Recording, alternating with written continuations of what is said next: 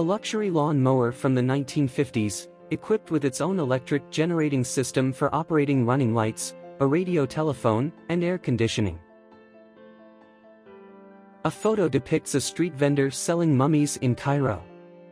Back then, people came up with bizarre and disturbing uses for mummies, from their use as paint pigment, to eating them as a form of medicine. 1875 A World War I radiology nurse, wearing protective clothing and a headpiece. Circa 1918. British archaeologist and Egyptologist Howard Carter peered through the doors of Tutankhamun's shrine after he uncovered it in January 1924. Lumberjacks taking a photo with a Douglas fir tree in Washington. 1899.